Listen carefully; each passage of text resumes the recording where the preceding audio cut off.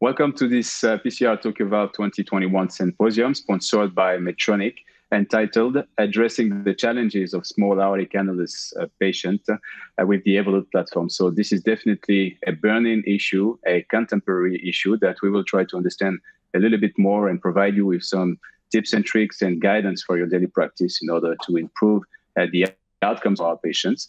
And uh, to uh, help me uh, guide you through this uh, very important topic, I have the great privilege to uh, co-host this session, this symposium with three friends of mine, Kentaro Hayashida from Japan. Hi, Kentaro. Yusuke Watanabe, also from Japan. And last but not least, Myeong Ki from Hong from Korea. Uh, so maybe we could start uh, by stating what are going to be the learning objectives for uh, today's symposium. So all around small early annulus uh, patient, what we'll uh, try to achieve today uh, help you understand what is the prevalence of small aortic annulus patients and the current challenges in terms of treatment. The second objective will be to review the outcomes of the small uh, annuli patient population with particular focus uh, on women. And at last, to discuss the future of clinical evidence looking at small aortic annuli patients and treatment implications. Uh, so, having uh, said that, maybe we can uh, start uh, the discussion because one of the objectives is to understand the prevalence of uh, small aortic annulus. And if we focus on the Asian population, this is a question for you, Yusuke. Uh, what can you tell us about the prevalence of small aortic annulus uh, in the Asian population? Thank you, Didier. So, yeah, normally we have a, a patient, uh, TAVI patient is a smaller uh, body size of the patient, and 70% uh, of the patient are uh, women.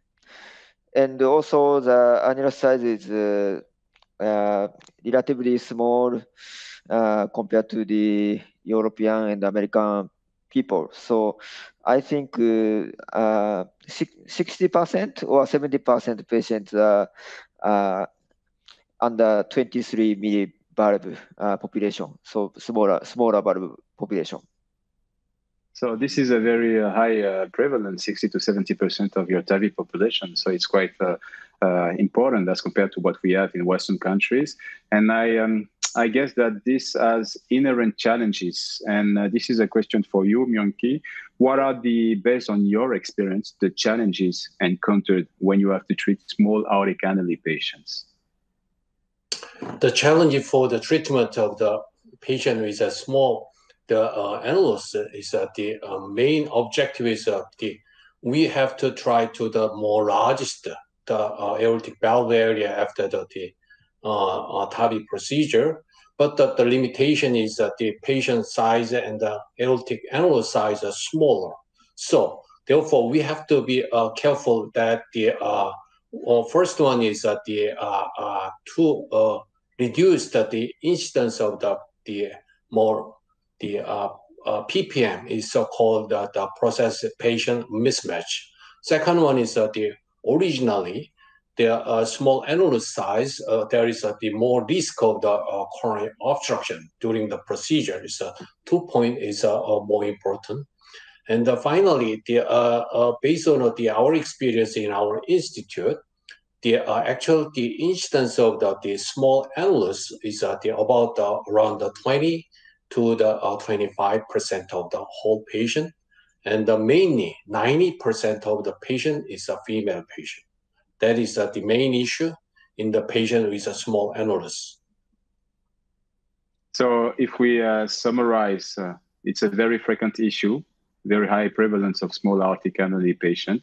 And you nicely highlighted the challenges of treating these patients with TAVI, high uh, hemodynamics impairment, including uh, patient prosthesis mismatch, mismatch. We're going to see that afterwards coronary uh, occlusion. And I guess that sizing also has uh, some uh, specificities that we may go through afterwards. Um, Kentaro, I guess it's time to introduce our chat master. Okay, thank you very much, Didier. And uh, I'd like to introduce Dr. Hideyuki Kawashima from Tokyo University Hospital and his interventional cardiologist. And uh, please don't hesitate to ask any question you want, uh, either in English or Japanese, and he will reply to you as soon as possible. So uh, please be very interactive. Thank you so much. Okay, so uh, we really understand that the small annulus is quite big issue for us all uh, in Asian cohort. And uh, we're going to have the uh, two presentations.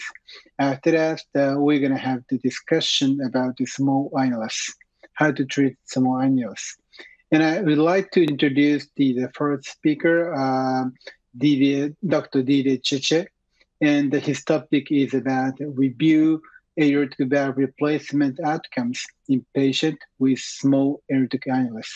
So, uh, Didier, please. Thank you very much, uh, Kentaro. So what are the outcomes of aortic valve replacement in, in patients with small aortic annuli? Uh, so here are my disclosure. Uh, so the, the first thing we uh, need to understand is to put everything into perspective because now we are more and more treating low risk patients and uh, at least in Europe there, there is that indication for low risk patients. So we need to, as a heart team, understand there are, that there are different challenges and different expectations. And namely, if you watch the right part of the slide, we need to uh, ensure nice hemodynamics and avoid patient prosthesis mismatch, ensure that we are using devices that are durable uh, according to the life expectancy of the, of the patient, and that we maintain access to the coronary artery. And the main focus of the topic today is going to be about hemodynamics and how to prevent patient prosthesis mismatch.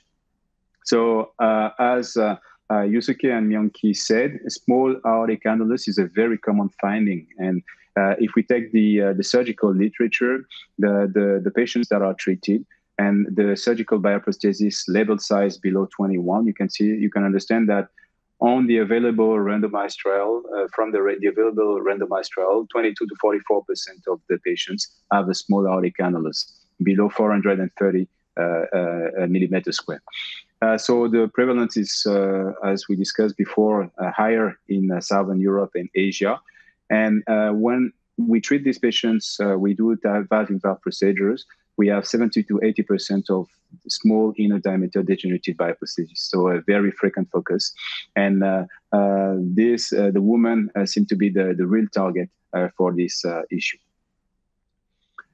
so one thing that is really available and coming from the literature is the fact that and when we are treating patients with a small annulus, we're going to get different hemodynamics as compared with patients with larger annuli.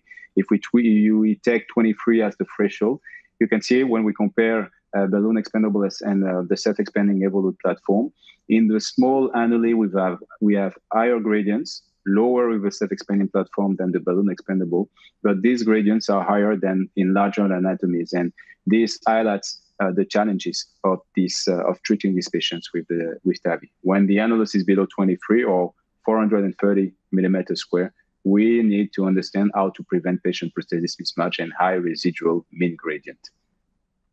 And so stating that with self-expanding platforms, we're going to get better hemodynamics, we can go a little bit more into uh, uh, details based on TAVI small registry that compare various types of self-expanding platforms. And here, 90% of women, so this is a constant finding, but quite interesting. We can understand, we can see from this uh, nice work that the intra-annular self-expanding platforms uh, get provide higher gradients than the supra-annular platforms. So if we want to treat a patient at high risk of uh, residual gradient and patient prosthesis mismatch, a supra-annular self-expanding platform makes sense.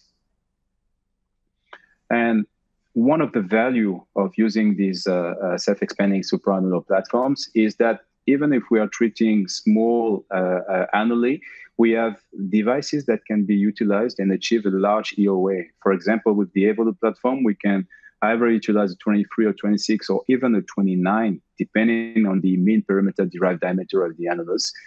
It remains a small annulus patient, but we can sometimes uh, use a 29 platform with a large EOA. So this is really the value of this uh, type of uh architecture. When we uh, compare to the, to the surgical valves, it's clear that if we take a patient with a, a small annulus, if we use a, a TAVI uh, device, we're going to get larger EOS uh, and lower gradients as compared to surgery. And this is something, this is an argument that can be discussed during the heart team meetings when we are facing, for example, in a very uh, uh, in a patient that is quite active that deserve to have better hemodynamics, that can be something that can be that could be uh, considered. It's quite uh, interesting if we uh, uh, compare what we have in TAVI devices and in, in surgery. We can see that in TAVI devices, whether we use a very small device, a medium size or a large size, the uh, EOAs we're going to get and the mean gradients are going to remain in the same range. While in the surgical valves, the smaller the valve is, the grade, the higher the gradients is going to be, and this is definitely something that uh, is constant uh, through the literature. So um, at last, we uh, we said uh, during the introduction that uh, severe patient prosthesis mismatch was one of the issues that we wanted to we want to avoid, and it makes sense because as you can see in that uh, in the CoreValve IRIS trial, patient at uh, with a final patient prosthesis mismatch, severe patient prosthesis mismatch, has a twofold higher mortality as compared to patients without severe patient prosthesis mismatch. So it makes sense. This is definitely an issue that we uh, should try uh, to avoid. We said that women represented 90% of the, uh, the target population, the small annuli. And in that population, uh, from the WIN-TAVI registry, the uh, severe patient prosthesis mismatch rate uh, uh, uh, achieved was 32.8%, so a very high risk of severe patient prosthesis mismatch. And uh, the when we take the uh, mean perimeter derived diameter of the uh, the annulus, there wasn't a real difference between patients with a severe patient prosthesis mismatch and the one without a severe patient prosthesis mismatch. So the it's likely that the difference was made was based on the platform using a self-expanding supraannular platform as compared to a balloon expandable ones. And this is uh, depicted here with a balloon expandable uh, platform and a, a, small annulus. We have the two main determinants of uh, a final uh, residual gradient and a risk of severe patient prosthesis mismatch. So we understand what to do and which patients should benefit from a self-expanding supraannular uh, platform. And if we compare with men, and this is going to be one of my final slides, women uh, have a higher risk of uh, severe patient prosthesis mismatch, even in small annuli uh, configuration as compared to men. And this is definitely the target. This should be the focus of our uh, uh, uh, exploration and to make sure that we prevent this issue in the women population.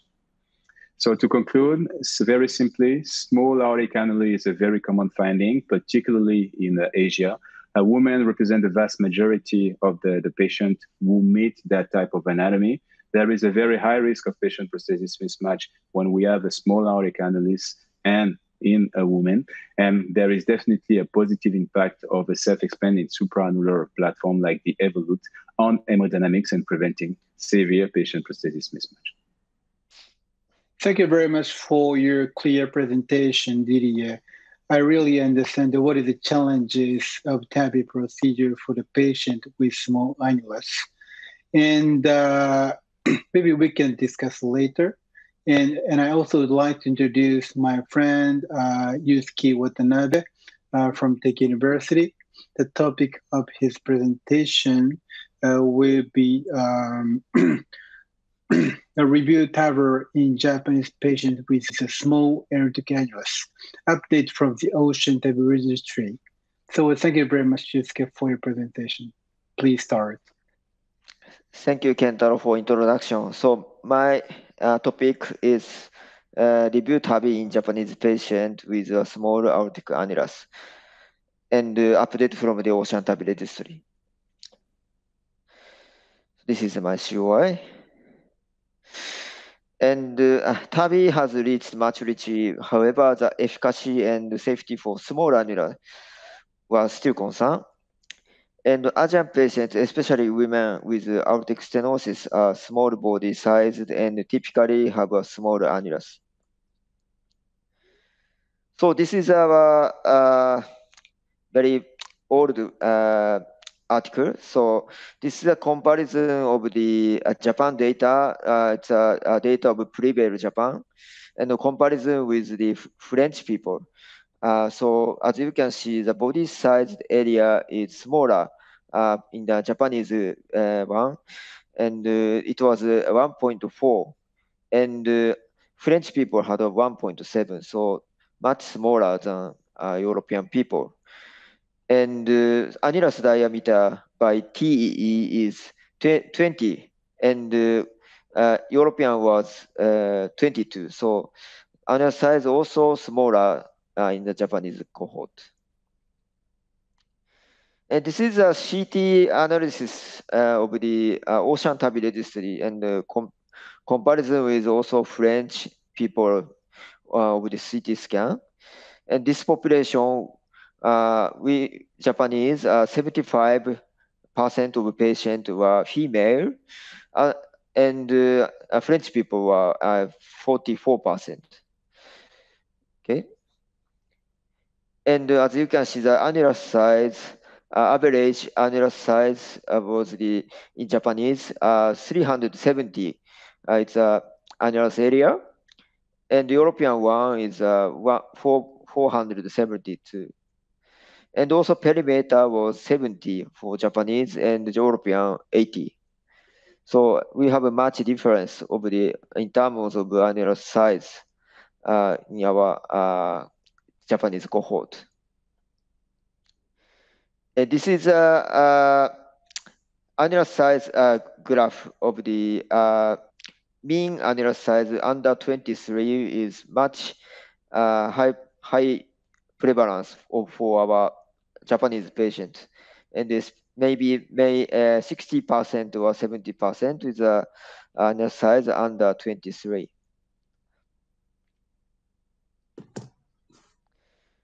And as you can see, we have a, such a case. Sometimes we have encounter, we encounter such a, a very small annulus case, annuli case.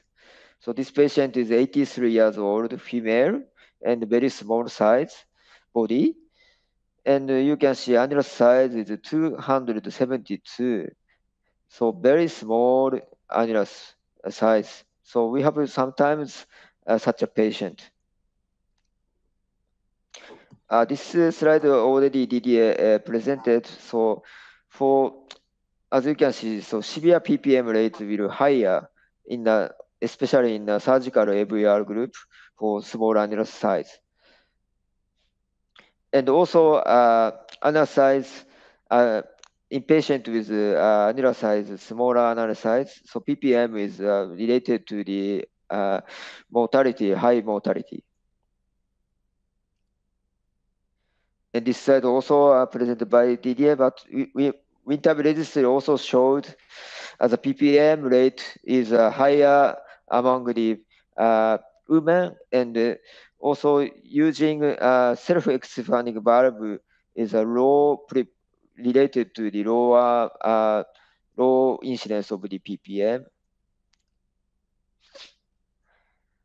And also this is a low risk uh, partner trial. So PPM in women is uh, related to the worse outcome compared to the men.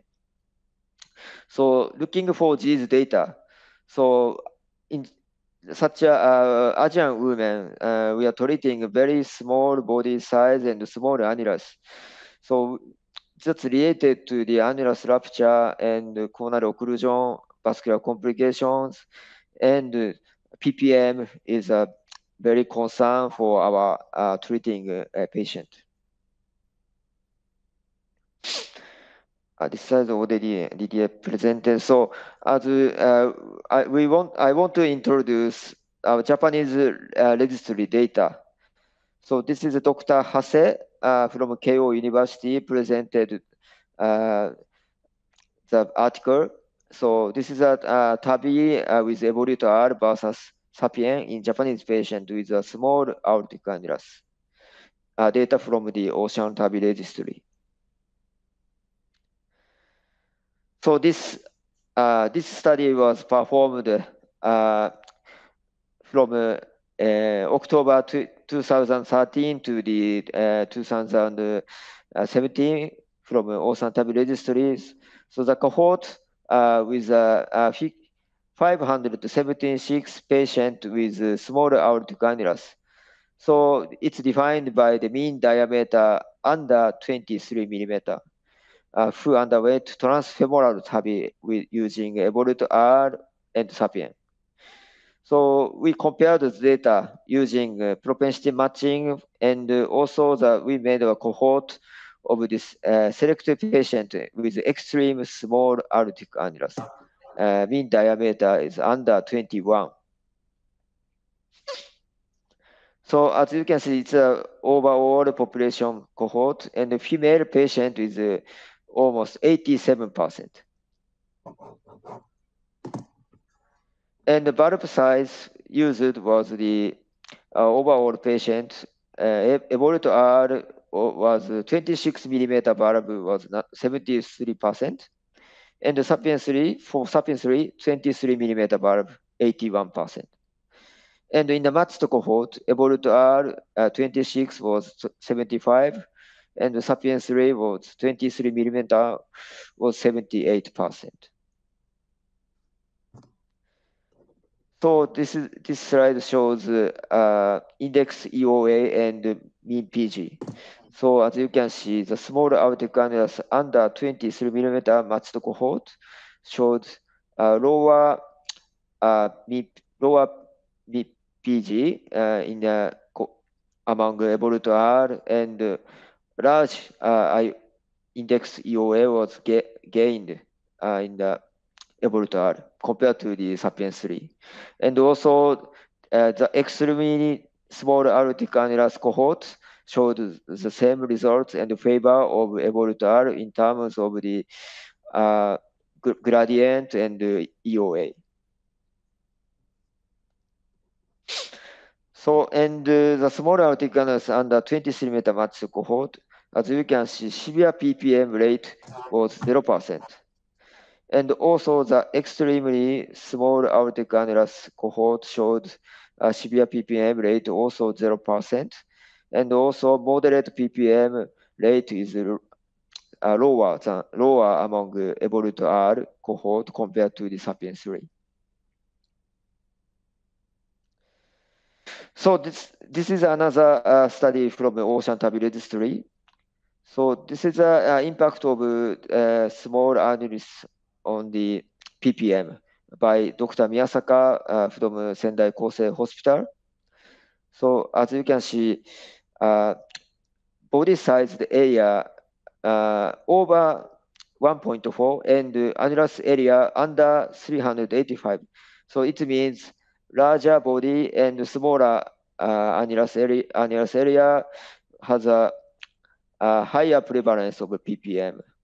So we we should we should care uh, uh, comparison of the annulus area and the body size area also to predict PPM.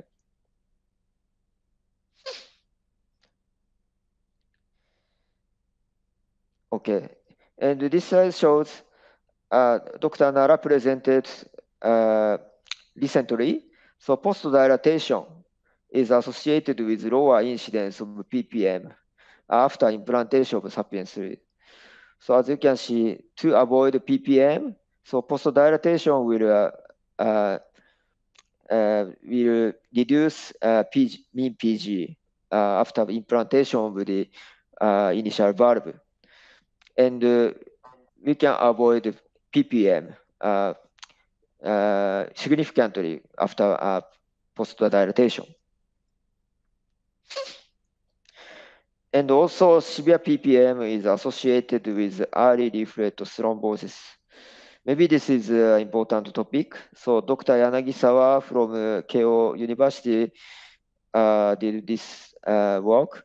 And severe PPM is related to the early and, early leaflet thrombosis. So to avoid uh, leaflet thrombosis, so PPM is should be uh, also. So this is my uh, final slide. So Asian female patient with a small annuli has a potential risk of PPM after TAVI.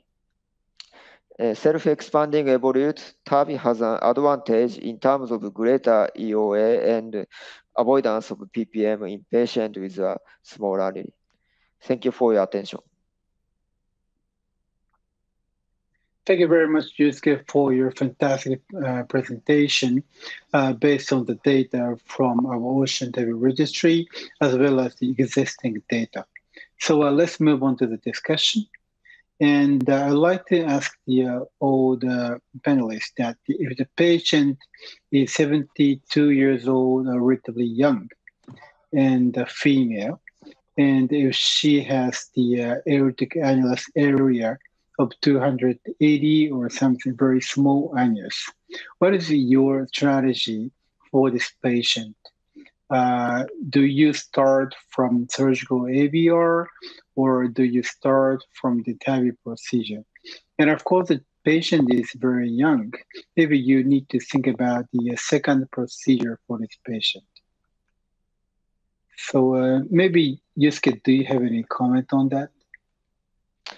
Thank you, Kentaro. So this is a, a little bit difficult uh, quest, question.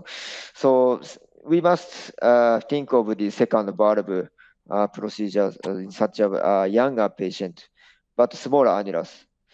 So I will uh, recommend to such a woman uh, if it's possible uh, surgical AVR, but uh, small size, small, very small size annulus uh, will have a PPM rate is very higher among surgical AVR patient.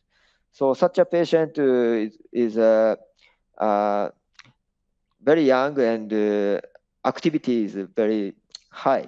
So I recommend to, maybe I recommend to her to put a self-expanding valve first. And uh, if a second valve is needed, maybe 10 years uh, later, something, maybe we have a, a, good device or a technique like Basilica, uh, and uh, we can choose uh, second TAVI, maybe, I don't know, but I hope uh, such a strategy is uh, very nice to her. Okay, thank you very much uh, for your clear answer.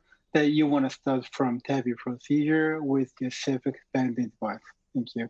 So, Dr. Myeong Ki Hong, uh, what is your opinion on this kind of patient? Uh, one of the, the uh, tragedy in the real practice in patients who have uh, the surgical AVR, we frequently meet the, uh, this kind of the patient with uh, the valve degeneration. And when we evaluate that the patient status is that the, the patient underwent the, the surgical AVR, the valve size only 19. It's a real tragedy. So very small.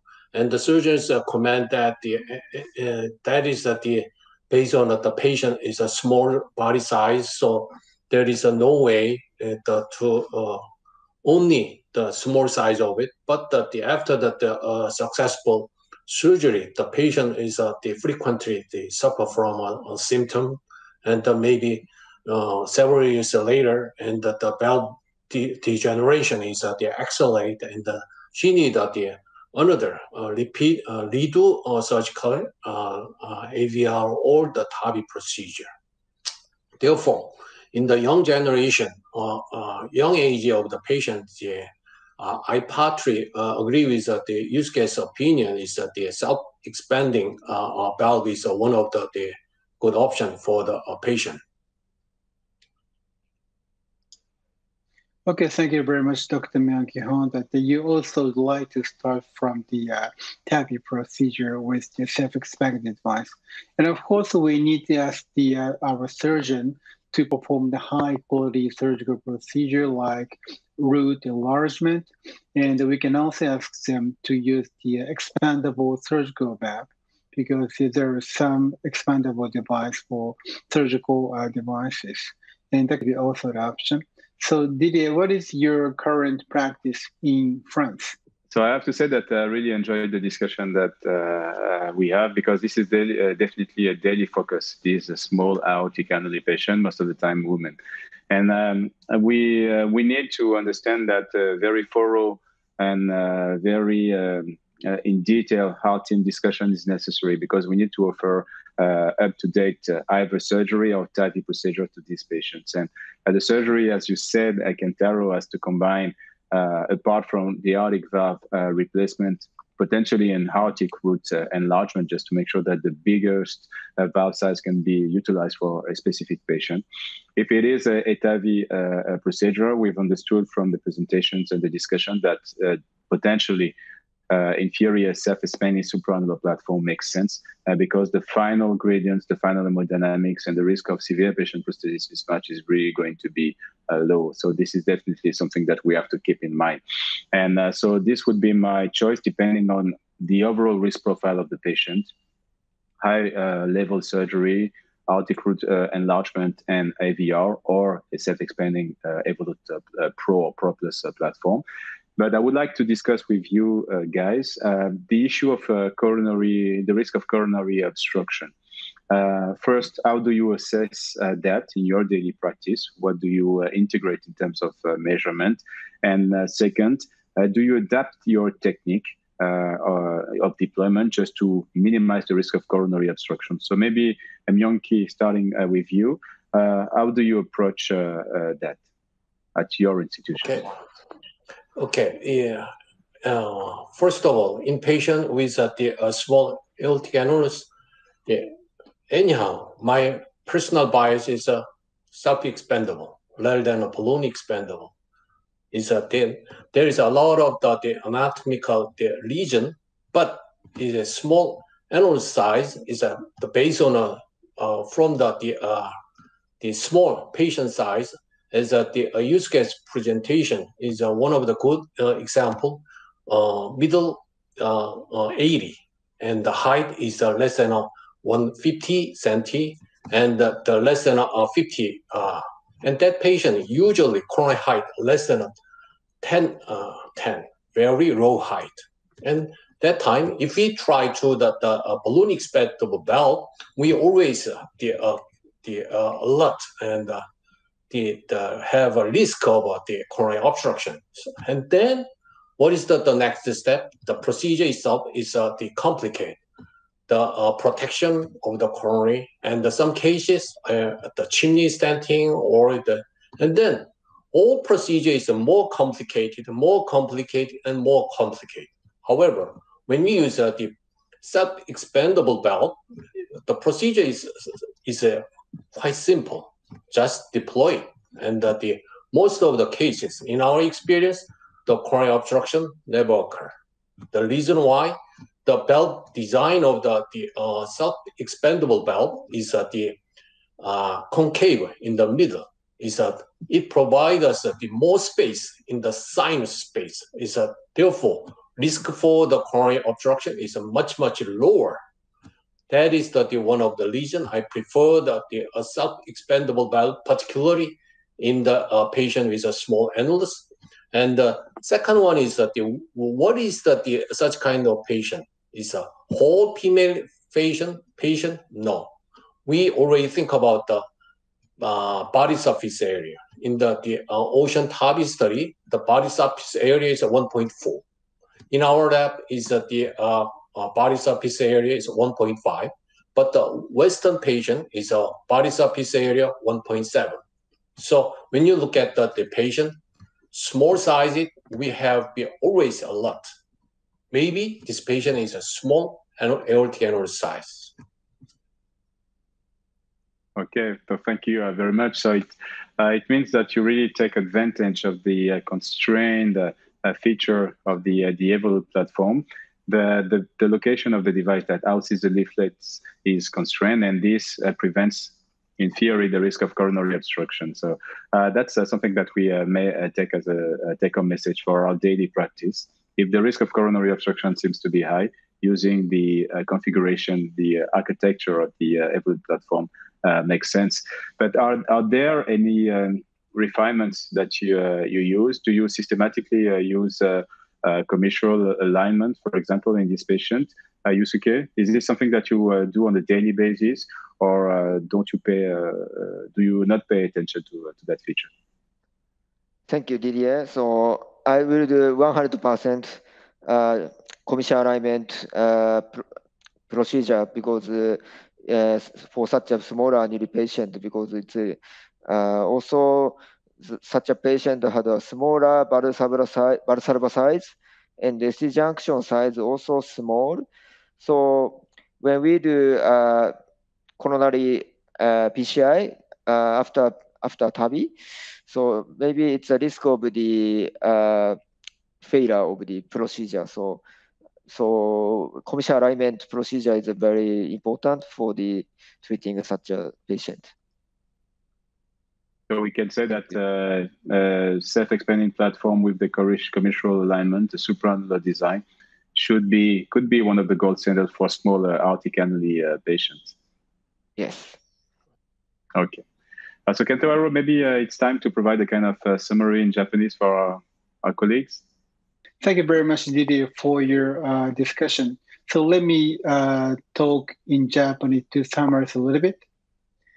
今お話ししてたことはいくつありまして、やはりあの競争便利に対してこのしっかり EOA を取るという点で、あの若い方もですね、このオペリスクが低ければ、このルートエンラージメントであるとか、あと広がる外科部に入れるというのもいいでしょうし、あとベースク少しあるんであれば、このスープラニュラーデバイスを使ってですね、まあ、しっかり家をやっていって、シビア PPM を防ぐということもいいんじゃないかということを話しました。で、さらにこのコロナルオクルージョンも非常にこの重要なトピックスであると。いうことで、あの、やはりですね、このサイナスの大きさであるとか、コロナの大きさも、えー、と非常に重要であると。で、さらにあの、コミッションアライメントですね、このエボリュートのコミッシャーをこのコロナに目の前に置かないようにですね、このサイドポートこの30の方向に置いて進めていくということで、あの防ぐことができるということで、あのいろんなことを考えながらですね、このコロナオクルージョを防いでいくということも、このスモールアナトミーの患者さんには重要なんじゃないかということをお話をいたしました。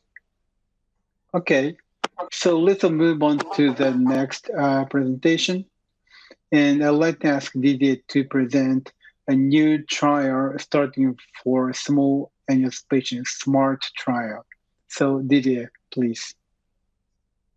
So thank you, Kentaro. So um, uh, indeed, there is a new uh, trial that has started for patients with small aortic annulus. It's the SMART trial, and it's really going to echo what has been uh, observed in the Ocean uh, TAVI registry, but with randomized data. Because if we uh, speak about uh, roughly the background, it's all that we have discussed discussed so far. First, uh, optimal hemodynamic performance is quite important for both clinical outcomes and long-term durability uh, uh, from a patient perspective and a device perspective. Second, most of the studies uh, that have used echo as the gold standard have demonstrated a super hemodynamics for self-expanding uh, supraannular devices as compared to balloon expandable platforms. We know that there are uh, adverse effects of high residual gradient, low EOS, and severe patient prosthesis mismatch uh, that are quite frequent in the 20 to 30% of the patients with small aortic annuli. And we've said that 90% of these patients will be lady. And if we at last we move to uh, low risk patients, uh, the effect of adverse hemodynamics are probably uh, going to be more predominant because these patients are active and younger. So uh, the SMART trial is uh, a kind of innovative because this is going to be the largest randomized trial in terms of uh, population size comparing two platforms, uh, and it addresses the, uh, the, all the challenges of uh, severe native aortic valve stenosis in patients with a small annulus with a, an area below 430 millimeters square as assessed by CT scan. The patient is going to, to be randomized one-to-one between the Evolut Pro Pro Plus platform and the Sapien 3, Sapien 3 Ultra. And it's going to be a kind of all-comer uh, study, assessment, clinical assessment and echo assessment at 30 days, at one year, and then on a yearly basis for five years. So we're going to get a lot of data coming from this uh, randomized trial. So uh, small annuli randomized to Evolut or Sapien, SMART trial, all comer subjects with a significant aortic stenosis with an anatomy, anatomy that is uh, uh, favorable for first a procedure and second for either devices, the balloon expandable S3, S3 Ultra, or the Evolut, Evolut Pro Plus uh, platform. Uh, if we focus on the primary, the endpoints, there are two primary endpoints. The first one is a comp composite of mortality, disabling stroke, or heart failure rehospitalization at one year. And the second primary uh, endpoint is more hemodynamic focused, is bioprosthetic valve dysfunction assessed at 12 months as uh, de- uh, defined in uh, the uh, this slide. So two very important endpoints, a clinical one and a hemodynamic one, and we're going to see if there is a difference between uh, both uh, platforms. So as I said, this is a all-comer study, including bicuspid aortic valves, only focusing on native anatomy, so we won't include patients with valve valve procedures. And once again, the anatomy has to be suitable for both devices. So there is going to there is a a, um, a, screening committee assessing the suitability of the anatomy of the patient for both platforms and making sure that the, the patients are equally selected for the S3 and the Evolut platform. So this is going to be a global uh, study all around uh, uh the US, Canada, and uh, Europe. The first patient has been enrolled in March uh, this year, and the enrollment is now going in a very smooth way.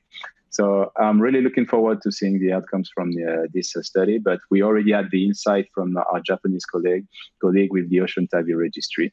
But and now we're going to get randomized data uh, to support all the hypotheses generated by uh, the Ocean TAVI registry. Thank you. Thank you very much, Didier, for your fantastic plan. And uh, I have a question. Actually, you included the uh, thrombosis and the structural valve deterioration in your study. So, what is your anticipation of the outcome? Do you think the uh, the PPM is associated with the uh, incidence of leaflet thrombosis or structural valve deterioration? So this is a very uh, important uh, comment and issue that you raised, uh, Kentaro, and this has already uh, been uh, anticipated by uh, through the lecture by uh, Yusuke. And from the Ocean TAVI registry, what we observed were signals towards a higher rate of leaflet thrombosis in patients with uh, severe patient prosthesis mismatch. So potentially, if we can avoid that with the supraannular self-expanding platform, we're going to decrease the occurrence. We could decrease the occurrence of such events let's wait for the data of this uh, randomized trial uh, supported by Medtronic to see what exactly we observe in uh, in these patients. Okay, thank you. And we know that the severe prosthesis patient mismatch is associated with the uh, higher mortality. And what do you think of the moderate prosthesis patient mismatch? Do you care about this moderate PPM or uh, what is your thought? So it's really uh, controversial. So from the literature, it's uh, clear that severe patient prosthesis mismatch, both from a surgical standpoint and a, transcatheter standpoint, has a negative impact on the survival for moderate uh, patient prosthesis mismatch, it's uh, it's a little bit uh, uh controversial. So we're going to see what we observe with a larger cohort and randomi- randomization of the patients. Uh, but the clear focus should be uh, towards the avoidance of severe patient prosthesis mismatch, unless we have a very big cohort of patients to really address these um, rarer events. we, we don't we won't have the answer, but this is very a very important point that you raised. We should avoid, I would say, patient prosthesis mismatch at all, any type at all, if we if we could. Maybe your study will elucidate this question in the future. Thank you very much, Didier, for your fantastic lecture. Okay, so today uh, we had a really a nice discussion. And first of all, and small annulus is quite big issue for us Asian people because we have a lot of patients with small body size and sometimes we have the risk of the severe prosthesis patient mismatch, as well as the uh, coronary occlusion in this specific small uh, anatomy. So we need to be careful. And in this setting, and the supraannular device could also provide the uh, very nice and dynamic advantage. And we can also think about the uh, this kind of the uh, TAVI device for younger patients to avoid severe prosthesis patient mismatch. And of course, the surgical procedure could also be a very good option with root enlargement and uh, expandable device. So that's why so we need to uh, improve each other the procedure to achieve the better outcome for the patient. And uh, so, and I also like to summarize in Japanese. あの、今日のですね、このセッションでは、この競争便利についてお話をしました。で、やはりですね、今後そのローリスクにこの適用がシフトしていく中で、このシビア PPM を防ぐということは非常に重要です。で、もちろんこのエボリュートを使うことによって、かなり EOA が大きく取れると。で、シビア PPM を防ぐことができますし、まあ、さらにまあ、本当に若い方でローリスクの方に関しては、もちろん外科主義もよろしいということで、このうまくですね、このコロナルオクルージョンであるとか、まあ、そういう合併症を防ぎながら、この良い結果を患者さんにもたらしていくということが大変重要なんじゃないかということがよく分かりました。Okay, so thank you uh, very much, uh, Kentaro, Yusuke, and Yonki for this fantastic discussion. And uh, at last, thank, uh, thank you, Medtronic, for supporting such a very educative and very important uh, symposium. And uh, we all wish you a very nice uh, PCR Tokyo Valve 2021.